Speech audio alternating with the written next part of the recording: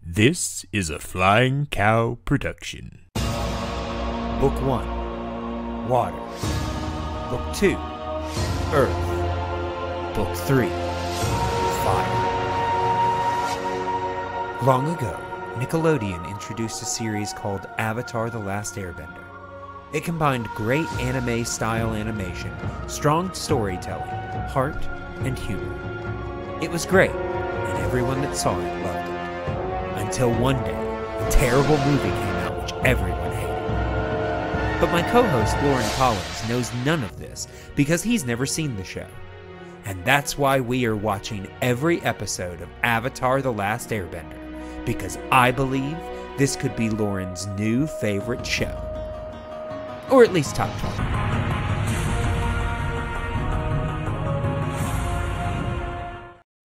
Well, hello and welcome back to Comets and Cabbages.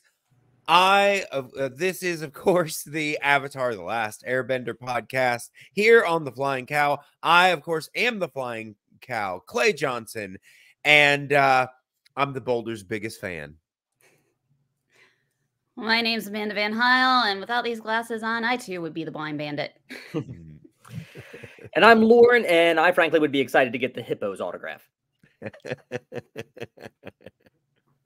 All right. Well, yes, we are here, of course, like I said, talking about another episode of Avatar The Last Airbender. I will say, uh, if you paid attention to the last episode, I made a boo boo. Um, I said that the next episode was Zuko alone. Well, it's funny because I thought it was Blind Bandit next, and then I Yeah. thought, well, maybe this is one of those Mhm. instances where, like, on Netflix, Blind Bandit comes next, and then, like, No. on another series, like, Zuko alone goes next. I mean, I I haven't rewatched Zuko Alone yet, so it honestly could have because obviously Zuko Alone is the continuation of Iroh and Right. Zuko's story, whereas uh, this is the continuation, obviously, of Aang and uh, Aang and the Gang's story. I, I obviously Um, haven't seen it yet. D- does do the regular gang even appear in Zuko alone? See, uh, I can't remember, honestly. I think they do, it's just like, uh, the the uh, Zuko doesn't appear in this one, I don't think that they do. So Oh, yeah. really, you could switch them, and Yeah. it wouldn't, you know, affect a whole lot. It would They're just basically be, happening you, yeah, you're you're seeing Zuko's story before you see um the story of of Aang and the gang. Um, and, yeah, the, you the know, one key, the one key thing would be like even if there's a glimpse of the regular gang, if Toph is in it, then that creates a continuity issue. Sure, than sure. I yeah, I don't I don't think I mean obviously when we watch it next time, we'll know. Um but uh yeah, we are today talking about the blind bandit. Uh but before we do, we just want to briefly mention the fact that this is the first episode that we are recording after they have uh indeed uh decided to renew uh the live action avatar um series on Netflix. Um and I mean we talked about it in the last episode. We were talking about the potential for that and now it's confirmed. Um and you know, I'm I, I'm I'm interested to see what they do with the rest of the story. You know, um they made some very interesting uh choices, a lot of which I really liked, some of which I did not. I will say, I do hope that they take some notes and downplay the whole cosplay ishness of it. Um, because uh, we're not the only people that that feel that way. Um, you know, I have a friend, she did not hear us having that conversation and said the exact same note. So I saw a whole thread on it on Twitter. yeah it it looks like cosplay and so they they need to dial it back we don't need a one for one you can do a a play and a nod to the series without trying to make it look exact and we'll be fine we don't need you know giant plastic hair on Yue. um it's just unnecessary Yep. But it is nice too that Netflix went ahead and, and renewed it not just for one more season, but for two. Yes. Yeah. Oh, yeah. it- Because yeah. because you know we're gonna get the whole thing. I mean, I will say a bunch of the articles were like, and a lot of people are disappointed because they're not gonna stretch it out. I'm like, I don't think anybody was expecting more than three uh series. I'm like, Mhm. I think I think that's all we ever wanted. I think Yeah. we're good. Yeah, I don't know how much material there is in the latter seasons, but unless you were going to Yeah. do like a, a Harry Potter and the Deathly Hallows thing and split, you know, season Well, three into two seasons. especially because they brought a lot of the stuff up in season two Yep. up to season one. So I'm kind of interested to see, you know. I mean, yes, a, a lot of those were from episodes that weren't necessarily weren't necessarily important to the plot. So it was a nice way to fit them in in different ways. But you know, some of that stuff, it's just like, oh, okay, so what are we going to do in the place where we would have introduced that thing it's just going to be there okay interesting um but you know we we will we will see and i am interested to see i am curious. But like i said um i cannot see this happening uh sooner than 2 years. The I think season, there's no yeah, there's no way we get it um sooner than 2 years. Um just because the the only thing that has been said is that they had already started writing. I mean, Oh. I yes, I understand that they had all of the other pre-production stuff in place.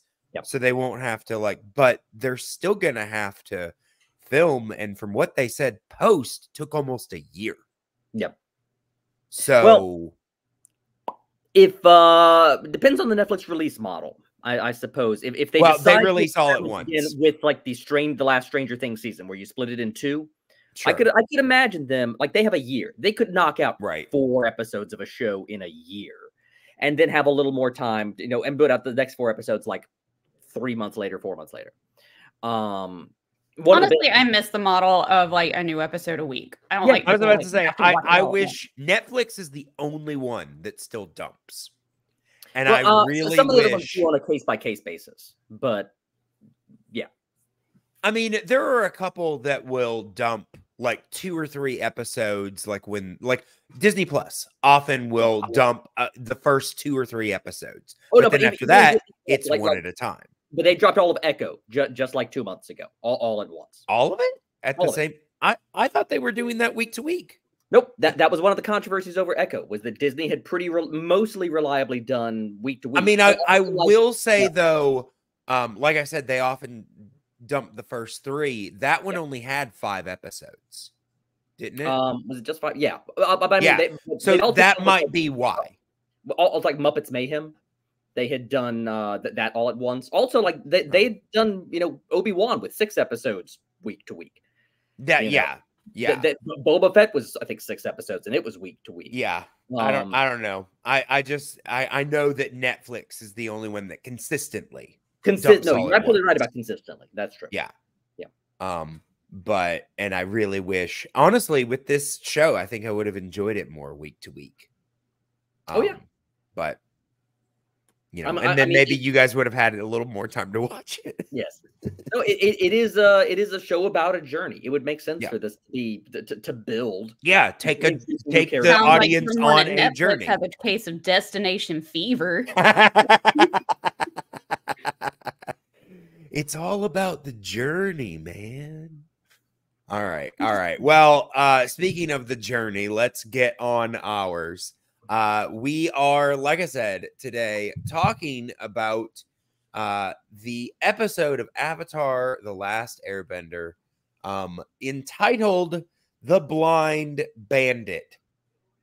It was directed by Ethan Spalding and written by Michael Dante DiMartino, one of our creators, which I don't think we've had an episode written by either one of them. Well, okay, so the waterbending master, um, the um, you know, one of the final episodes of season one was written by um Michael Dante DiMartino. But it's it's been a bit. Um since then. So uh and I I imagine this was a rather important episode to them. So I understand why one of them decided to write it. Um but yeah, it also um it debuted April, sorry, May 5th, um 2006. Uh and you know, this episode is basically the culmination of kind of the journey that they have been on the entire beginning of this season. Aang has been looking for an earthbending master ever since the episode. Well, I mean, really since uh the the first episode of this season, because originally they thought it was Bumi, but then ever since uh you know Bumi basically said, No, I'm gonna choose to stay in prison. Uh they uh, have been looking for a new master for Aang, and we finally um, meet uh, that uh, master in the character of Toph. Um, and so this is the episode that introduces the character of Toph. And Amanda, I have to ask you um, because I know, you know, you said, you know, obviously you more recently uh, watched the series, but you said you've kind of been watching it on and off ever since then. Mhm. Um, so for me, uh, every time I rewatch this, at a certain point, there's always like the anticipation. It's like, oh yeah, kind of just waiting to get to Toph again. Yeah. It's like the like this is one of those episodes that it's like I enjoy a lot of the stuff that comes before it, but there's also like a feeling like the it's not the show yet until Yeah. Toph gets No. I get it. It's like because when I go and watch, I'm like, this one's a fun one, but Toph's not there. Like Yeah. Secret Tunnel. Like I love Secret Tunnel, but Toph's not there. yeah. Yes. When are we gonna get to the fireworks factory? the the fireworks factory. Oh, did, did either of y'all get that reference? No. Oh, it's an old Simpsons thing. When- when Oh, they- okay, okay, I kind okay. of recognized it. I feel like Dan's probably said it a million Yeah, times. yeah. it- it's- I it's- I grew the up in a conservative religious house, so I was never allowed to watch The Simpsons, and I've only seen bits and pieces since. Then, Yeah, so. it- it's it's somewhat the inverse of this, but but yeah, it, it's the Poochie episode where Itchy and Scratchy are driving down the highway to the fireworks factory, and then when they're Mhm. like half a mile from it, then the episode just stops at its tracks to introduce Poochie, who just dominates the screen, and they and they never get. And uh, Milhouse complains, it's just like, when are they going to get to the fireworks factory? Never. Never. Um, I will say though, uh, Lauren, you being this your first time Mhm. watching, obviously you have heard of Toph. Yep. You you hinted as, as much uh, in the uh, swamp episode. Um, but uh did this character stick out to you immediately, or was it just kind of like, okay, I'm interested to see after this why everybody's on about Toph?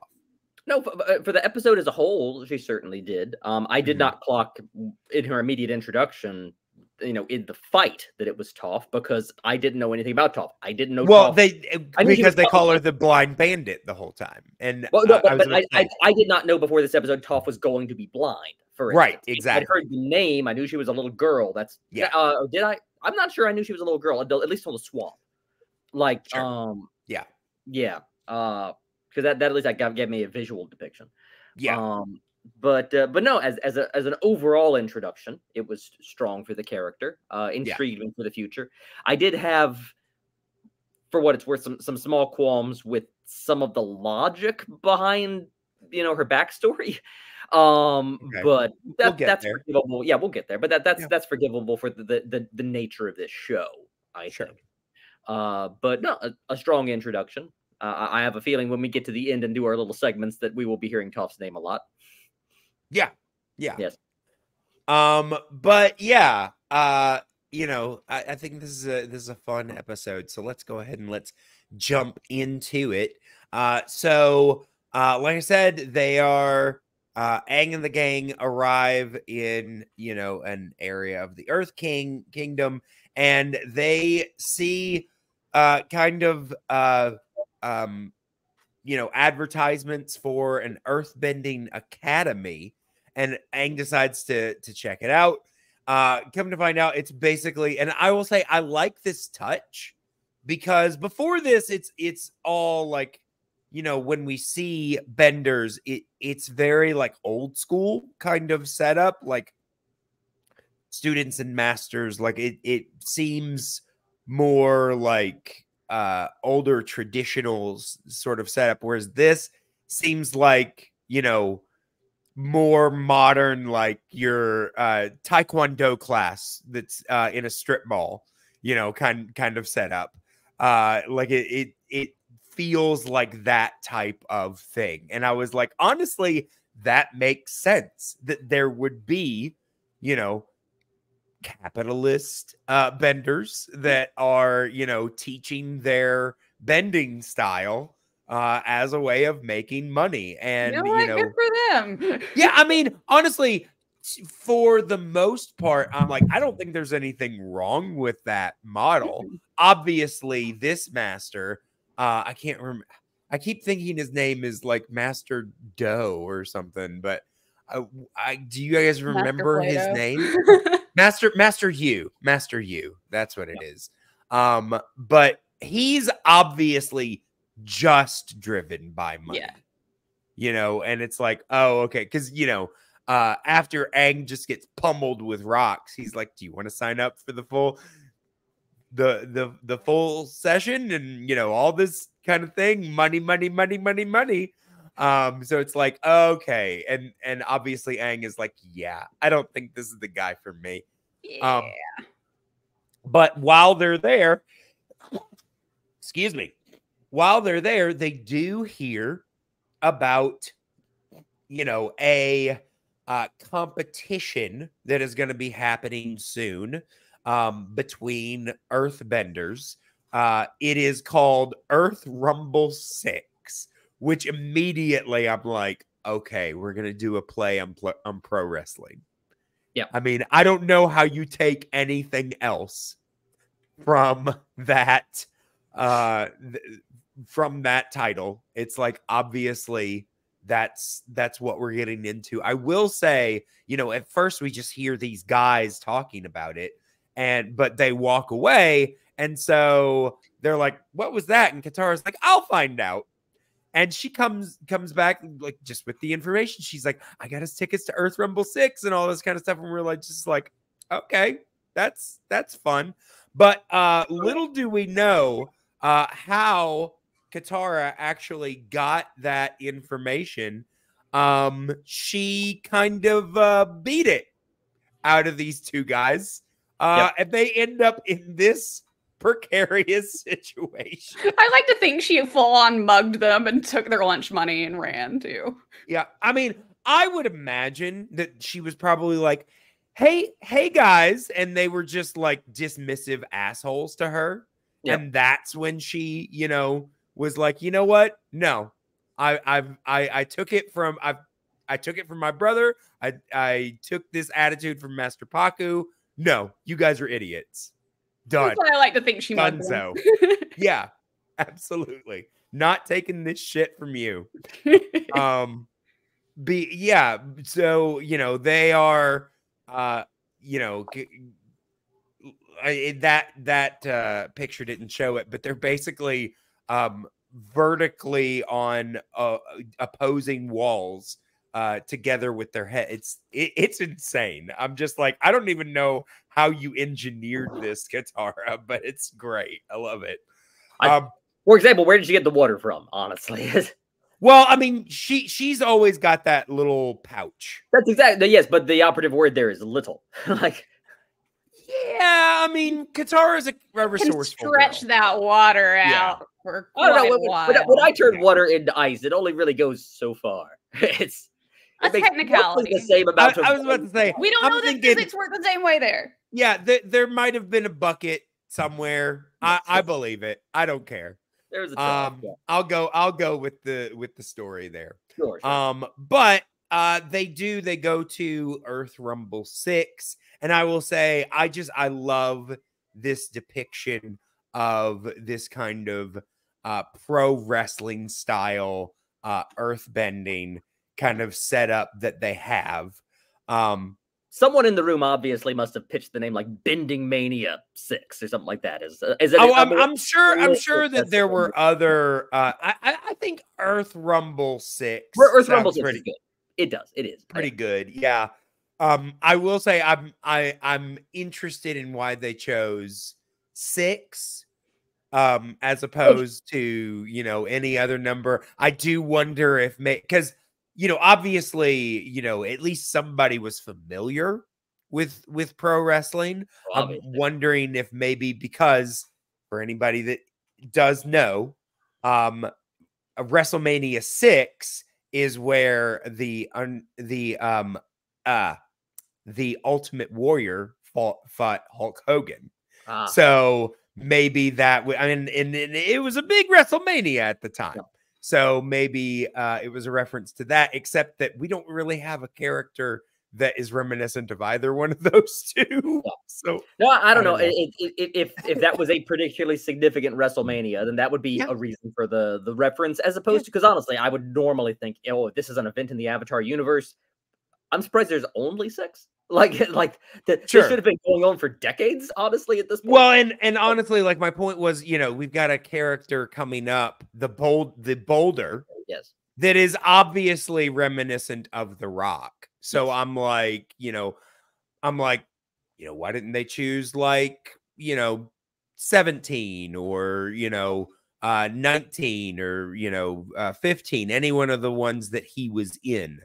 Um, but you know, wh- whatever, whatever. I'm I swear, if not gonna don't quibble The over Rock, it. though in the live action. I mean, you know, uh he, here's the thing. Like I said, we have this character, the Boulder. Obviously, he was named after The Rock. From what I have heard, this is st- kind of hearsay, but uh they originally reached out to The Rock. Mhm. But I mean, this was I mean, this was before his like real calling was family programming. yeah, I mean, honestly, this was he was was. uh he he was in movie roles and things Yeah, things like that. But it still had not gotten to the mostly point of where the action best movies. he's best at is doing like stuff for. well, like, and I will things. say also, this is around the time, you know, there was a point at which he kind of just stepped away from the wrestling completely. Oh, okay. um to kind of build his his movie career. And Yeah. so maybe this was you know maybe it was eh, from his point of view a little smaller than he wanted to do. Maybe it was too reminiscent of wrestling. But either way instead of the rock they got another pro wrestler actually a friend of the rock mick foley to voice uh the boulder. And I absolutely love Mick Foley. He is uh, a tremendous character, one of my uh, favorite performers within the realms of professional wrestling. And so to have him provide the voice here was just really, really fun. Um, Yeah, that, that's really the enjoyed that. you could hope to get for a, a guest voice. If you'd been, if they'd Yeah. been doing this like five years earlier, they might have been able to get The Rock back when Well- he was like doing a guest star appearance on Star yeah, Trek. yeah. If they had like in 2001, something like that, you know, they might have been able to get him. But Oh yeah, like I checked, he, he did the Voyager episode in 2000. So like, yeah, th- yeah. that at, kind of at this point, yeah, he's he's he's stepping yeah. away. But what I find entertaining, like I said, not only do are uh, Mick Foley and The Rock friends, but there was a point at which they were working together uh, on screen in in kayfabe and storyline, and the uh, Mick Foley would basically do uh, a played down version of The Rock stuff. So, like, Yep. where The Rock would say, and the millions and millions of The Rock's fans, and um, Foley would be like, and and the the hundreds and tens of the of Mick Foley's fans, like, just totally play down all of that kind of stuff. And so to see him once again kind of playing into the rock shtick was Yeah. really kind of fun. It's funny looking Um, at the Avatar uh, wiki. Like it mentions the Boulder being the Rock. It mentions Yeah. Fire Nation Man being a heel stereotype. It does. Oh yeah. Yeah. Oh that that that is that is straight up like um Nikolai Volkov. Type type of uh, of uh, setup. The Fire Nation Ned or whatever his name is. Yeah. yeah. It surprises me though it does not mention the hippo's inspiration because that one stood out to me, and I don't like I don't know. Uh, I mean, but, you know, I, I will say I think the the hippo is probably an amalgamation of a bunch of different like maybe King Kong Bundy a little bit, maybe like- he's, he's um I- I- unless I am wildly mistaken here, he's he's not a a- reference to a like human wrestler. He's a reference to King Hippo from Mike Tyson's Punch Out. oh okay. Yeah, I mean, Well, he's, modeled right It's after. a, it's a fighting game. It's a fighting game. He does the same kind of poses. He has the same sort of weird hippo teeth. Then that that Yeah. probably is exactly where it's from. Yeah, but no, Yeah. like the, the wiki does not mention that, which I find fascinating. Yeah. Well, they were probably looking for pro wrestling um correlations References. Yeah. and uh didn't find find it there. So yeah. Um but yeah, so um the setup for uh Earth Rumble 6 is that uh at least from what I remember is that the Boulder was the champion but lost the championship and is now basically trying to regain it but in order to do so he has to go through basically a gauntlet of other competitors in order to just face the champ.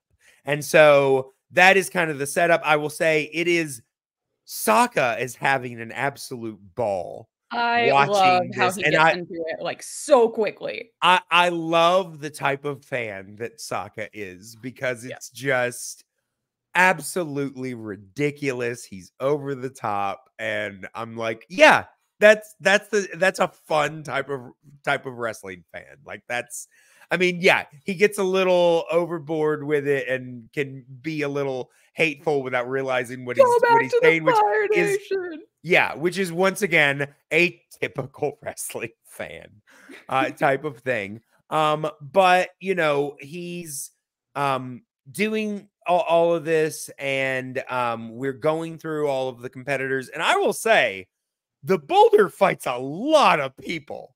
Like they show like three or four like matches, and then they go through a montage of like six more. And I'm just like, my God, that is an insane number of matches for one man just to get to uh, the champion. And when they bring out the champion, they announce the champion as the blind bandit. And out comes this tiny little girl. And, you know, if you are watching the video, you have seen, and if you've seen the the episode, you you know the boulder is, you know, looks like a typical pro wrestler. Gigantic, massive physique, all of this stuff.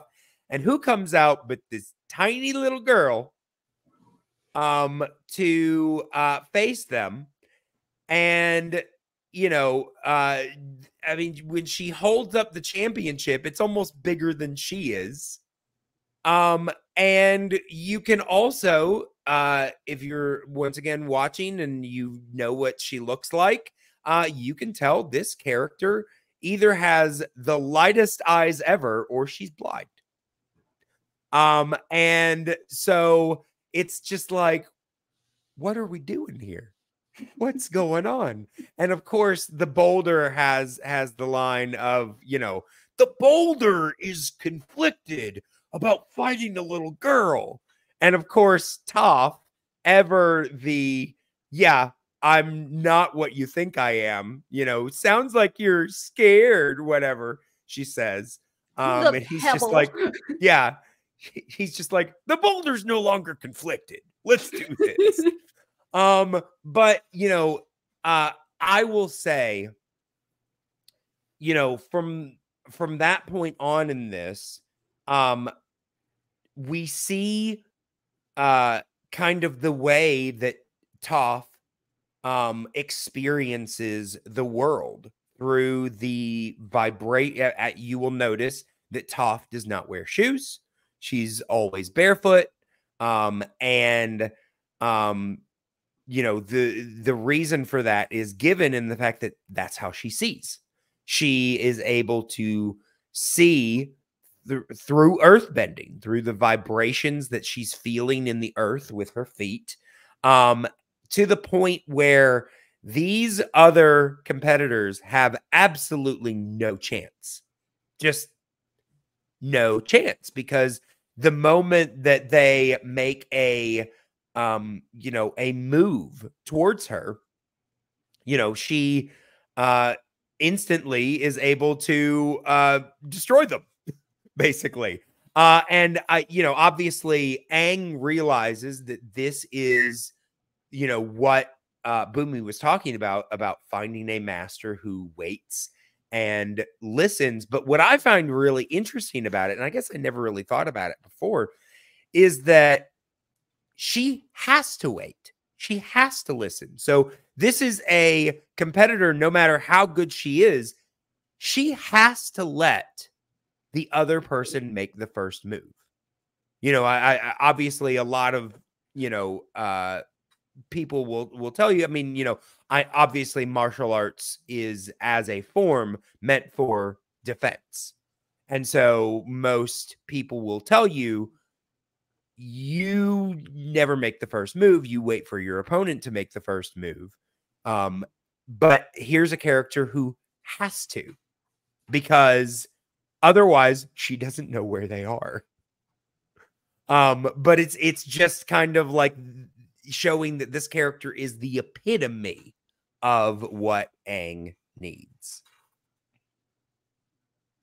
I mean, uh obviously Amanda, you have a little bit more of martial art experience. Can you add any, um, you know, uh, of your expertise to this? I wish I were an expert. Um, she, so a lot of it is sensitivity and being able to feel what your opponent is doing. Um, sometimes, like as they're getting ready. So being able to feel just the slightest of when they're about to like strike a certain certain direction. So that is what she has mastered is the patience and focus of martial yeah. arts, part that I'm really bad at. so you need some lessons from Toph. I would saying. need a lot of lessons from Toph, yes. awesome. So yeah, she uh beats uh she beats the boulder. Uh yeah. the the the ringmaster puts up a challenge Aang takes the ring and wins. Yeah, yeah. Well, because Aang does not need to uh, move on the ground, on the ground because exactly. he's he's an airbender. Um, and so uh, you know, uh, yeah, Aang this whole time has just been, you know, once he realizes what she is yep. and makes the correlation of the the girl in the swamp, he wants to meet her. But mm-hmm. by beating her immediately. She wants to have nothing to do with him. So uh, they have to find a way to track her down. Um, they do see the guys at the um, the uh, Earthbending Dojo again, and I will say I'm mentioning this mostly because I forgot to mention it last time that one of them is voiced by Scott Menville. Did you of guys clock that? Yeah. Yeah. Uh, I mean, I don't know their names, so I can't tell you which one, but he's one of them. Um, yeah. but yeah, they uh basically uh Katara, you know, scares them into sharing their information.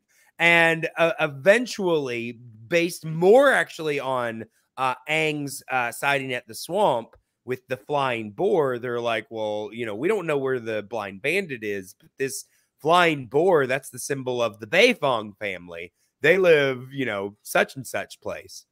And, you know, on their way out, of course, Katara, Katara has to reassert her her dominance. Because I mean, honestly, the, these guys, they're they're kind of assholes. So I'm not, I don't feel bad about it. But I will say there is something about this little bit, mostly uh the way that uh Sokka um finishes it off that I've always kind of oddly liked. So I just want to take a look at this. Hey, I got my eye on you.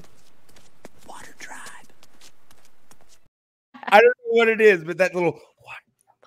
The, the fact that it's whispered is, is part of what makes it. Yes. Well, and also the way that he does his hands, where he just like slides oh, yeah. them out away from his body. I'm just like, it's it's. Don't get me wrong, it is dorky as fuck.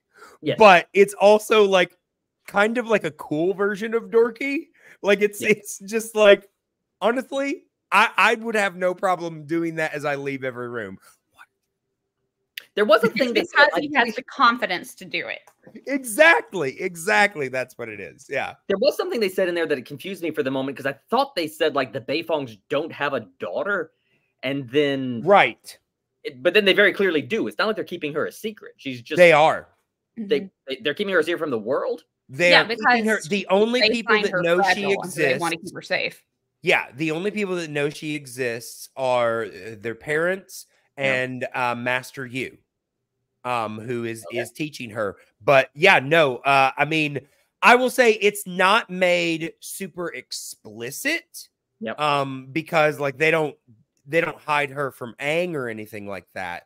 Yep. But they do mention a couple of times we kept her a secret from the world. Um, you know, the the the Beifongs don't have a daughter. They are basically she doesn't leave the compound. Yeah. As, as so far as they know, Yeah. Yeah. which It- it honestly basically- is why she is able to be the blind bandit because if Yeah. she wasn't kept a secret and people knew what she looked like, everybody would know who she was. Yeah, she's not in disguise or anything, but she, she Yeah. is pulling like an early Peter Parker and sneaking off to be in a wrestling competition. Yeah, Absolutely, absolutely. But yeah, they do. They track her down, and um, you know, the moment Aang sets foot in um uh on the grounds, she knows it's him, and immediately is just like, you know, get out of here, and calls the guards on them and everything. But Aang is insistent to talk to Toph, so uses his celebrity basically to get an audience with her parents, and they have dinner. And I will say, I don't know about you guys, but I loved this dinner scene where Toph is just constantly kicking the shit out of Aang with earth bending. I mean, Aang gets like one air blast, which honestly attacks everybody at the table, not just Toph. Um, and I, I love that nobody says anything about that. It's just like, oh, okay, you just air blasted all of us. I guess that's just, you know, comes with uh, hanging out with the Avatar. Um, but uh, I love how Toph just keeps mercilessly, you know, hitting him with rocks and crap, uh, trying to keep him from, you know, spilling her secret, basically. Um, but you know, we get in this uh, setup, we get this picture of uh, Toph's parents. They really don't know their daughter at all. They just see her size, her frailty, her blindness, and just assume that they have to keep her away and safe from the whole world, that that's the only way that she will be safe, kind of thing. And, you know, ob- so obviously they don't know that not only is she a badass, but she's also snarky as hell. Um, so, you know, obviously, like I said, they don't know their daughter at all. Um, but uh, you know, um trying to remember uh how this transitions. Uh do they um after the dinner is this can you guys oh no no, no I know that um Aang and Toph ha- have a conversation. Um oh that's right. Aang and Toph have a conversation and the boulder has convinced uh Xin Fu the guy that ran the uh, Earthbending, uh, the uh, Earth Rumble Six, that they had to be in collusion because uh, Aang never Earthbended. He never uh, did anything, and so and she just fell off. So she had to have taken a dive. Obviously, they're not uh, assuming that Aang's an airbender. Um, so uh, yeah, they go after both of them and um you know kidnap them and so they're seeking ransom money from Toph's parents um but then uh when they, the hippo's autograph though. they, Yeah. they they do get the boulder's autograph yes um Well, it was Sokka- what, what. I love is they send a ransom note Oh. and then they sign it yeah. what the what the hell guys No one said they were smart. no but i'm just like uh why don't you guys send this to the authorities not you know just go pay the ransom they just confessed to kidnapping for crying out loud. Um, but um, yeah, I mean, like like you said, Sokka is very excited about having the Boulder's autograph. I love that even after the Boulder reveals himself to be kind of shady and underhanded, uh, Sokka, like a true wrestling fan, won't accept it and is just lost in his fandom. Um, but uh, you know, uh, you know, they uh when they go to collect Toph, they reveal that well, we're just gonna keep the uh the avatar and turn him into the Fire Nation, which I'm just like, you guys are in the Earth Kingdom. Wow, you guys are really just out for yourselves, type of thing. Um, but um, you know, Katara and Sokka call on Toph to help them. And of course, her dad is just like, she's tiny and helpless and blind. She can't help you. And Toph's just like, shut up, dad. Yes, I can. Um, she doesn't say shut up, dad, but I really wish she had. Um, but yeah, she goes and she helps. And um, there are some really cool fight sequences where she and Aang work together to take this stuff out. And I know that in the past we have said that often, you know, Bender versus Bender has not been the most interesting uh, fights. A lot of times the non-Bender Bender fights are more interesting. I will say though, I think that Toph is definitely the exception, especially with this kind of like sonar ability that we're seeing her use. I find that fascinating every single time I see it. Um, you know, especially when it's like they make one move with their feet and they're done, uh, kind of thing. But um, she takes them all all out, and you know they're both saved. Um, and how does uh, her dad respond to seeing that her his daughter can take care of herself and that she's got this secret life and everything like that? No, you know, good for you, no respect, no nothing, just we needed to do a better job of keeping you away from the world. Wow, dad, you learned nothing from this. Absolutely nothing. You're really not paying attention, are you? Um and uh yeah, um basically decides to double down on keeping her away from the world and banishes the avatar from his house um, and so uh, it looks like Aang and the gang are about to leave dejected without an earthbending master. Um, but then Toph uh, runs up and is like, My dad changed his mind. And I don't believe her for a second. Nope. Did any of you guys? Absolutely not. Nope. No, no. No, of course not. And of course, they're like, "Awesome, let's go!" And immediately we cut to a scene with with her dad that's like, "The Avatar has kidnapped my daughter," and I'm just like, "Oh, jeez." Yeah. Oh, of course you go to that and not my daughter re- feels repressed and so she ran away. No, the Avatar, like he just refuses to accept the reality of the situation and only sees what he wants to see. Yeah, it probably wouldn't have hurt at all if Toph had left behind a note explaining, like, "I'm not being kidnapped." Like, well, it's not like she can here's the thing. uh, that's true. That's a, right. that's a good point. If, Yeah. if her parents, if her parents have not taught her to be literate, they really have dropped the ball here. It's I mean, you know, they they But honestly, honestly, honestly I'm, surprised if they left her illiterate because well, that I, would I'm just- surprised that she has an earthbending instructor at all. yeah, yeah, Like the fact that they even allow her, because you know this this guy. First of all, this guy's an idiot because she is somehow convincing him that she can only do basic forms. yes, Really? Wow. Yeah.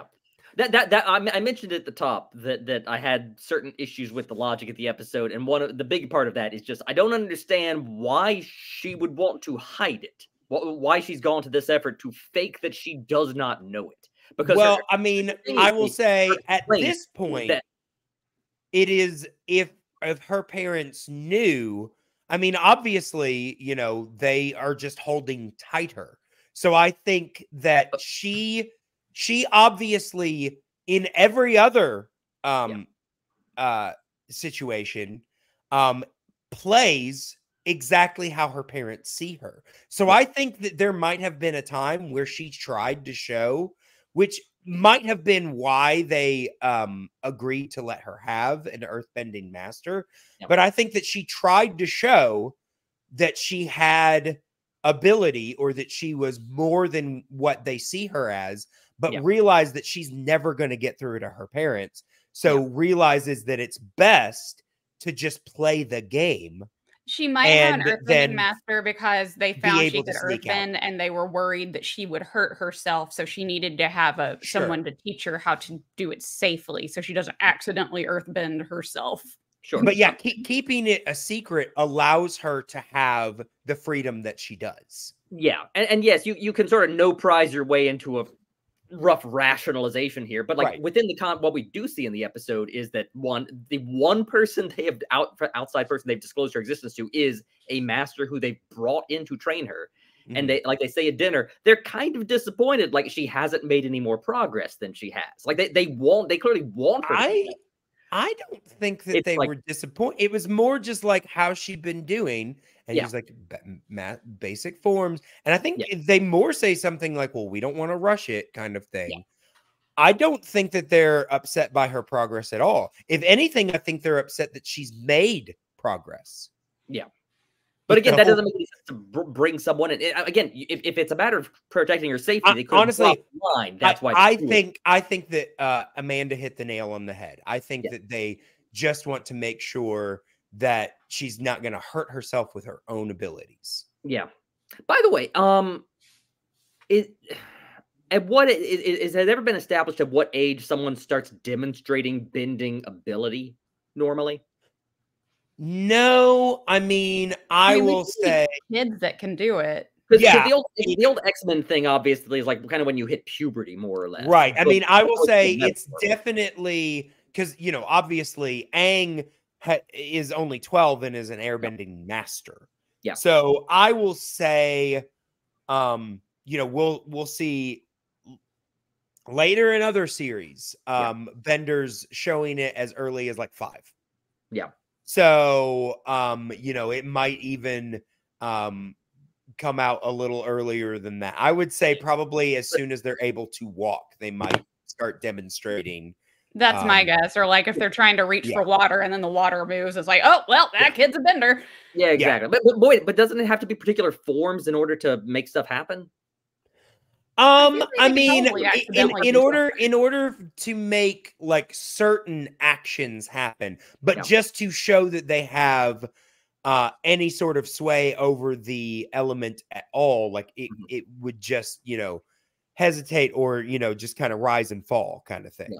Okay. Um, yeah. Um, but but yeah, the, kind, uh, the kind of stuff we saw as the test in the live action movie when it's like, here's a rock. Just yeah. uh, the Yeah. rock shapes. Yeah. Mm-hmm. Yeah.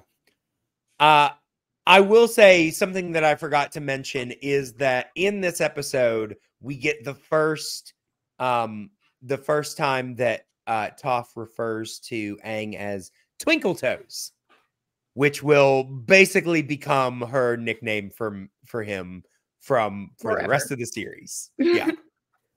um. In fact, I'm pretty sure she call, calls him Twinkle Toes more than she does Aang. Um, but uh, yeah, is there anything else about this episode that we want to mention before we Oh move on? yeah. So the actress that plays Toph, she played Meng, the one that called Katara Floozy. That oh yeah yeah yeah that's right. And I I can't believe that I did this, but um do want to mention so the actress that plays Toph um oh geez, why can I not find this? Um the actress that plays Toph um during the years that this was on went by the name of Jessie Flower. Um now, though, apparently she is going by her real name. That was just a stage name. Her real name is Michaela Jill Murphy. And I will say she is doing um, a lot of uh, like a YouTube series right now where she is rewatching um, the, the show. Uh, and the first time that I saw one of her, her videos, it said Michaela Jill Murphy, the voice of Toph. and I was like, uh uh because that's Jessie Flowers. Did not realize it was the same person. Yeah, I got so confused on that at first. Yeah, yeah. I'm just like, okay. But yeah, it makes sense because Um, she was a kid at the time, so it makes sense that they gave her like a stage name. Right, right. Um, but yeah, she's she's still working. Um, has done. Um, oh, apparently she started in Finding Nemo. Hmm. Um, played uh, um, you know, little minor voices in the background, fish and baby turtles, things like that. Um, also, oh, she also played one of the the little girl in Kronk's New Groove. Oh, okay. Yeah. So, um, yeah, you know, uh, still a voice actor, still doing. Oh, she was also the young voice of uh Franny in uh, Meet the Robinsons. So she's done a bunch, a bunch of stuff, bunch, a bunch of stuff, and uh, obviously, most famously, Toph. Mhm. Um, but yeah, anything else that we want to mention? I'm glad. I'm glad we mentioned that. That's very important. Um, Nah, nothing else. I don't No. think. All right. Well, then let us go ahead and let us move to our first uh, segment, which is, of course, our My Cabbages moment, which is, of course, the part where we talk about our favorite or most interesting scene for the episode. Um, uh, let's see, Amanda, we're going to start with you. What was your My Cabbages moment?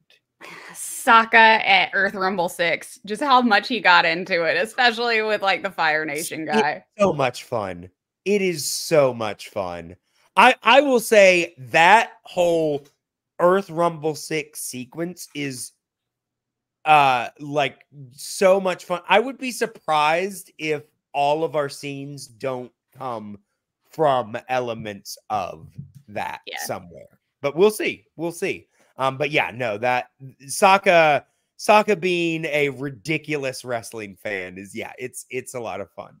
Uh Lauren, Uh, on the other end of the episode, uh, I, I know I've been down on some of the fight sequences in the past. We alluded to that earlier, but this Yep. last big fight scene, uh, I think benefited from having, uh, on the one side, a, a team of different characters. Like it's not just Yes. a one-on-one. You're just throwing stuff at each other. Yeah. But you had a variety of people, each with sort of different shticks. You know, Yeah. they're, they're bringing to them from the, the the bending wrestling championship, um, up against what amounts to a super-powered version of Daredevil um who, who- who's having to use her very very different skills against them so it was, Mhm. it was a very different dynamic for the fight and uh, a lot more entertaining as a result Absolutely. Absolutely. Uh yeah. So I, I guess I was right when I pointed that out about that fight. It it was pretty interesting. Yep. Um uh yeah, mine honestly, I just really love seeing the uh Toph sonar scenes, especially that first one against the boulder where he's all like posturing and everything and she just hears his heel hit the floor and immediately sends it off in the other direction and causes him to like do the splits.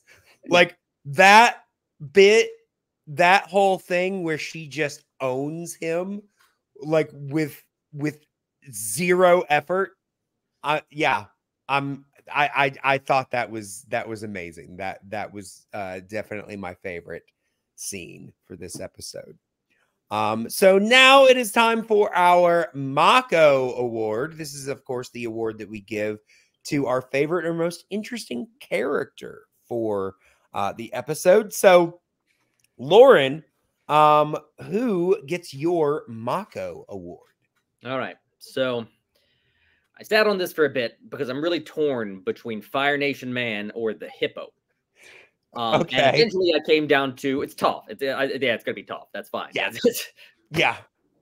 I, I I will say honestly, I really liked the touch of Fire Nation Ned.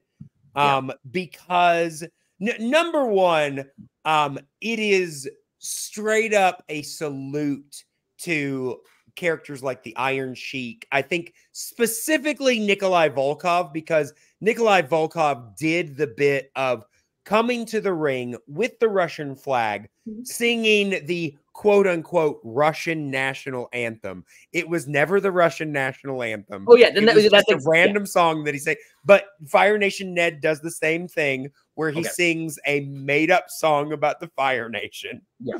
Um, No, I- but I, wasn't like- familiar with his shtick, but but yeah, on- once you got to the fake national anthem, no, Yeah. you're absolutely right. That's who that is. yeah, but it it's also I think really funny that this guy come out Fire Nation Ned. He's an Earthbender. Is it Ned? I thought it was Fire Nation I'm pretty sure it's Ned. I mean, I mi- I might be wrong. Somebody can correct me. You Okay. guys, if you guys look it up and it's wrong, let me know. Um, but yeah, I'm pretty sure it is. But either way, I, I that I just thought was funny. So yeah, I uh, I I appreciated that. Um, Amanda, who gets your uh, Mako award? Okay, so it's easy to say Toph, but because Toph is in a whole bunch of them, I'm not going to give it to her just because I want to give it to her in the future. And Mhm. I only have so many instances to give it to the boulder. So I'm going to give it to the boulder. Amanda, you like read me like a book uh, because I'm doing the exact same thing. Uh, once again, Toph, great character. And I think this is a pretty good introduction of her. But we're going to get so much more Toph goodness and sass and snark. And we got a bit of it in this episode, but you we have get not some really seen. good stuff later. I was about to say you have not. In fact, I'm thinking about an episode that's coming up that I'm like, I'm pretty sure I'm going to give it to Toph in that episode. Yeah. But um, for this one, I mean, I got to give it to Mick Foley for crying out loud. I mean, it's just. I mean, his ridiculous uh, rock impression, referring to himself in the third person, and just for being Mick Foley. I, I, yeah, I gotta, I gotta give it to Mick Foley as the boulder. Just, just so much, so much fun. Um, but yeah, now it is time to rate the episode on the Avatar State meter. We can give it anywhere from a one to a four, five being the highest, the show at full power. One, the lowest, could deal it a fatal blow. So, um, Amanda, um, where do you land on this? Um, what do you uh, give this episode? The Blind. oh, this one's a great one. It's getting a four and a half. All right, all right, Lauren. um, I I really enjoyed it. I'm gonna give it a four. All right. Ah, Jeez. Um I, I mean it's ridiculous because I'm really literally just wrestling between a four and a four and a half. Um, but you know what? 4.25. I, I think I think I am gonna give this a 4.5. Um, because it's just, you know, it is a very important episode, but it's also a very fun episode.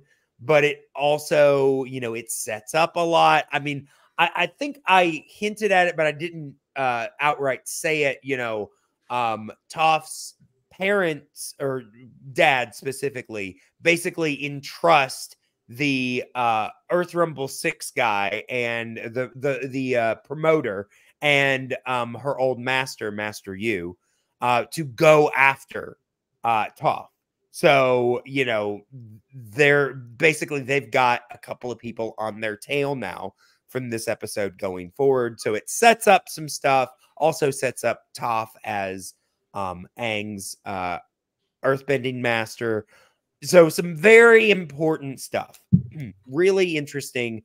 Uh so and you know, introduces a very important character and just yeah, just great, great stuff. Four and a half. Um, but uh yeah. Um want to let everyone know now how they can get into contact with us. So, of course, you can contact me at the Flying Cow Pod on Twitter and Instagram. Um, make sure to, you can also um, email at the Flying Cow Pod at gmail.com. Check out everything that we've got going on. Um, we've got uh, Around the World is uh, still dropping. I think uh, we are, I have, I think this week just dropped our review of uh, Ernest Goes to Jail. So if you haven't already, check that out on both the podcast feed and YouTube. It'll be available in both places. Um, and uh, yeah, fun, fun stuff. Check out the Patreon, patreon.com slash the flying cow. Um, and uh, yeah, uh, Lauren, I'll go to you. Um, what do you got going on? Uh, I got, uh, you can find me on Twitter at Lauren Collins. Uh, again, if you're in the Atlanta area for the next few weeks, uh, I am in Lend Me a Tenor at Act 3 uh, Productions in Sandy Springs from March 15th through March 30th. It's a very, very funny farce, like a, like a good episode of Frasier, honestly. Yes. Um, Lend me check- a tenor, not to be confused with sell me a tenor. Completely different stories. Yes. All right, uh, Amanda. All right. Well, you can find me on socials at Amanda Van Heil. And you can also, if you are in Boston the 21st through the 24th at PAX East, I will be hosting two Legend of Zelda panels. The one on the 21st is, I want to say it's at 6 or 6.30, which is on a Thursday, but it's going to be streamed so you can watch it from home, from wherever you are. I believe it's going to be on like the PAX 2 channel. Um, that's going to be a Legend of Zelda 2D versus 3D showdown. And then on the 22nd is going to be Tears of the Kingdom. I hear you say the Oh, PAX 2 channel. It's like, I'm not familiar with these streaming channels. PAX reminds me of the old uh, uh, Christian Broadcasting Network. I was about to say, Uh, yeah, the, Pa- the PAX network. Yeah. PAX, PAX TV. So yeah, yeah, it's like that seems like a strange venue for a Legend of Zelda series, but uh sure. No, they- they no, the, the this- Christians, they're really into into Link and Zelda. I mean, Yeah. in the original Legend of Zelda, Link had a cross on his shi- on his shield, and he was supposed to have a Bible. He's Yeah, a yeah. Christian. He Mhm. w- he was supposed to have a Bible He's a early on. Christian. that that That's that right. honestly is fascinating. Yeah, that's great. Um, but yeah, we will be back next time. This time, actually reviewing Zuko alone. I promise. I promise this time. Um, but yes, until that time, moo.